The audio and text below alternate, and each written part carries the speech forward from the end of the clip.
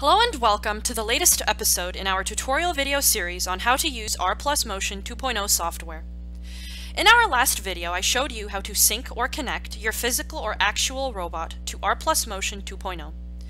In this video, I will be showing you how to create motion units on your synced robot. Once you have synced your robot, create a new motion unit. I will name mine Surfer Wipeout.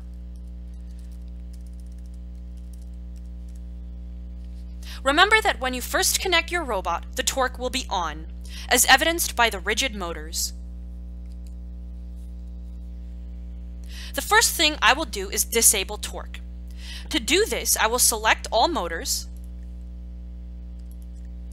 and click on torque off, the unlit light bulb. You can see that the motors are now loose and can be moved. On screen, you can also see that there are now X's underneath the picture of the lit light bulb, under Real Robot, denoting that the torque is off on all motors. I'll then move the robot to the desired position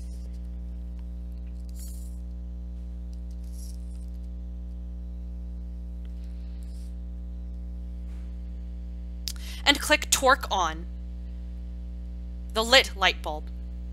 You can see that the motors are now rigid and can no longer be moved. Then I will click on Read Robot Pose.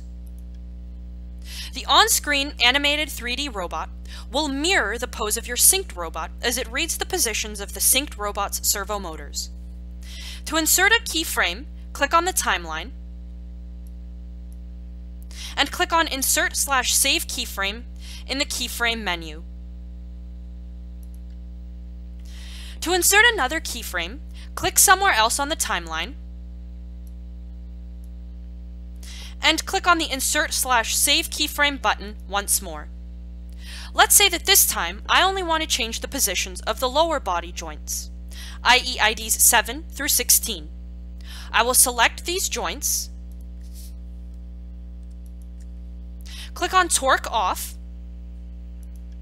As you can see, torque is only disabled on these joints, not disabled on the upper body. You can freely move the lower body. Move to the desired position. Click Torque On. And finally click Read Robot Pose.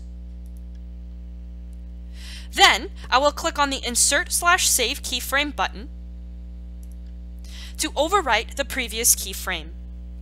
If I play back the motion unit on screen, I can see that it consists of the two keyframes that I just created. I can also click on any point in the timeline and click on Write Robot Pose so that I can see the pose at that specific time on my synced robot. Write Robot Pose writes the positions of the servo motors on the on-screen animated 3D robot to the synced robot's servo motors. So as you can see, if I randomly click here, and then click Write Robot Pose, the synced robot's pose reflects the on-screen animated 3D robot's pose. I can also create a keyframe on the on-screen animated 3D robot and translate it to my synced robot by using Write Robot Pose. Keep creating keyframes using the synced robot until you are satisfied with your motion unit. Once you are, I will show you how to play back the motion unit. Always make sure that your robot doesn't lose its balance.